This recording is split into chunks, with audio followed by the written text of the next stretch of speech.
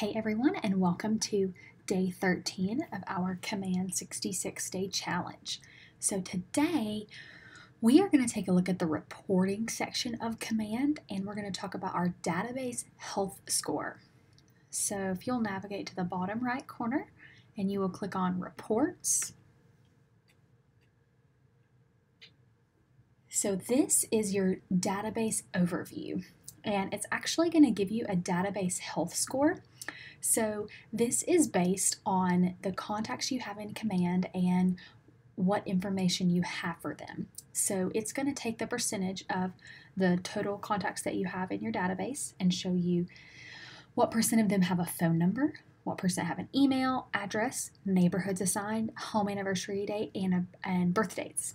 So as you can see, got 98% emails and phone numbers, but these percentages here are really low. So it's giving me um, a database health score of 60%.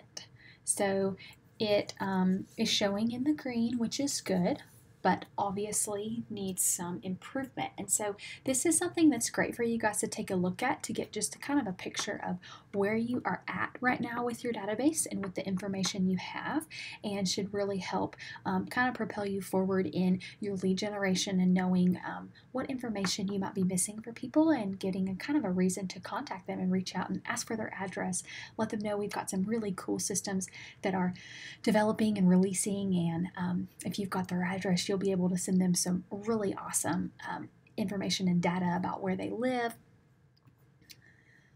It's also going to give you a database activity score down here. This is really awesome. This is going to give you percentages based on when's the last time you um, reached out to them.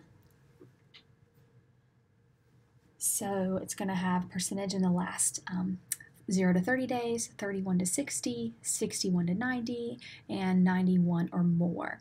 Um, and it's going to give you percentages of each of those uh, criteria there. So this will give you a great picture of who have you contacted. If you are, you know, when you're talking to people in your database, if you're updating command um, and letting it know that you've done that, it's going to factor into these percentages that you see here. And this can be filtered by like email, so you can just see email. So hopefully they'll, um, let's see, there's some, there's call. So if I had added phone calls, um, notes, meetings, anything like that.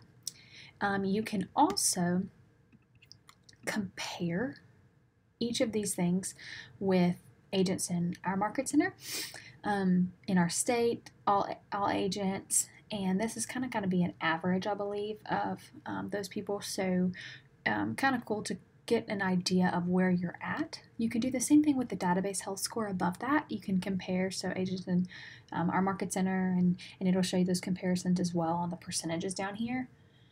And then another thing you're able to do on this screen is if you add lead sources to your contacts when you're adding them to command. Um, it will show you kind of a graph here with um, percentages of where your leads are coming from, and you'll be able to filter that by um, this year, month, week, anything like that. You can get really kind of granular with it there. Um, but yeah, so I'd love you guys to take a look at this, kind of see where your health score is for your database, and let that be something that gives you that extra push to really um, start talking to people and just updating your their information in your database. That is it for day 13 of our command challenge. Thanks for watching.